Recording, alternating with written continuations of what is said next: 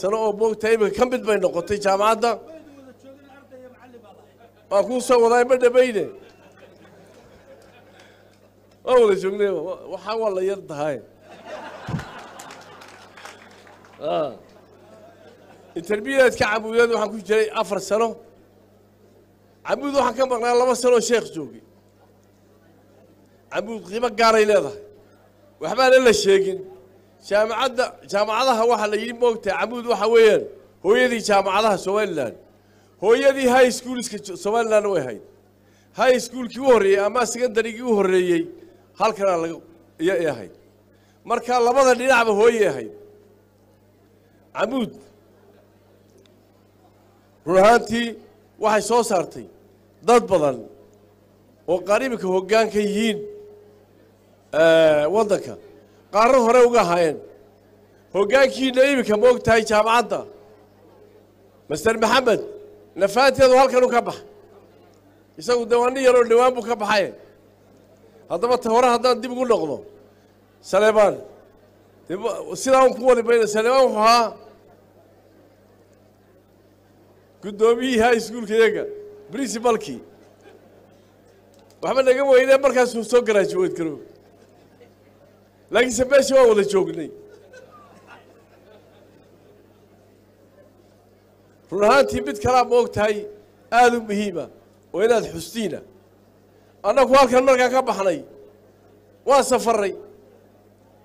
Halkaa marskay secondary iskuul dhammaado wax ka sarreeya oo somalilan jiray ma jirin. Dhowr kun oo kilomitir baan soconnay. Arrin adag bay ahayd.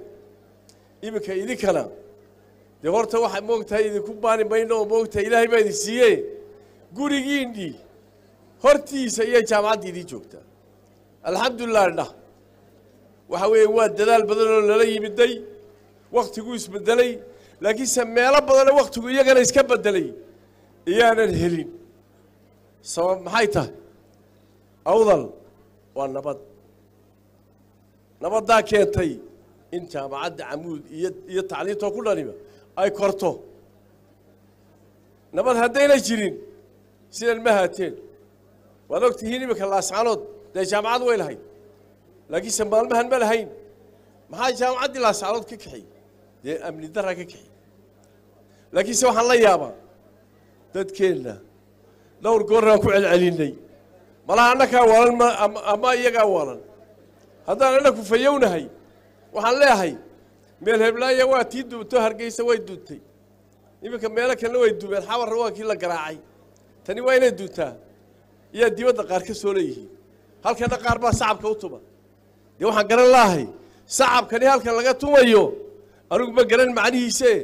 Ma annaga haddaba waalan oo waxba fahmayn waxaan idin leeyahay waan idinka weyna. Dardaaran baan idin leeyahay. Nabadgega dar hadday dhacdo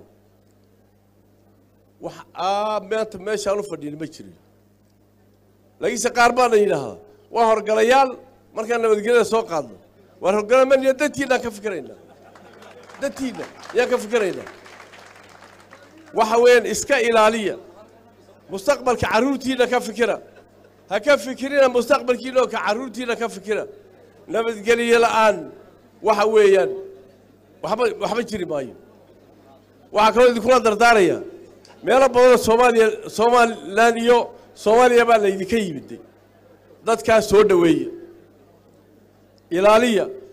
Dadka qaarkii bay meelihii ay deganaayeen. Bilaadnamo tahay. Soo dhoweeya weji fiican tusa.